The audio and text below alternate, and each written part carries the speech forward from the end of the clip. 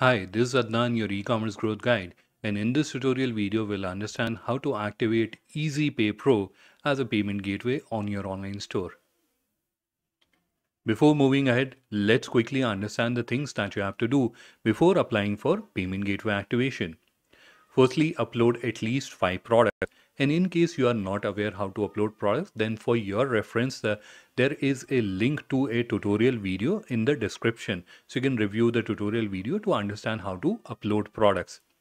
Next, you have to review and activate uh, policy pages. And in case you are not aware, there is a, a link to a tutorial video about this subject as well add about us page. So this is uh, about adding a content page, an information page about your organization. And again, if you're not aware how to add about us page, then there is a tutorial videos link in the description for your reference add valid contact details so this is where you have to ensure that the contact details that you are adding to your online store they are valid and uh, those are reachable as well especially the contact number is reachable add correct business name. So this is where you have to ensure the business name that you have added to your online store is as per the government proof of record. So for example, in government proof of record, your business name is Star Enterprises, but your brand name is Star and you have added Star to the online store as the name. So then uh, you have to change it to Star Enterprises because that's where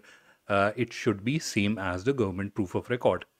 Next, you have to ensure site looks presentable. And this is where uh, you have to ensure that your logo, banners, etc. everything is uploaded and it is in a ready to go live state. So these are the things that you have to do before applying for payment gateway activation. As a first step, you have to open the seller panel of your online store. Once you have opened the seller panel in the left navigation, you have to click on settings and then you have to click on payment which will open the payment management page.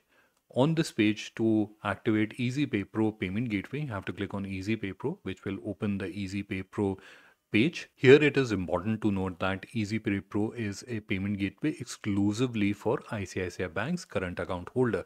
So if you are a ICICI Bank current account holder, in that case, you can click on apply which will take you to ICICI Bank's infrastructure. This is where you can submit your application and ICICI's team will review and approve your application.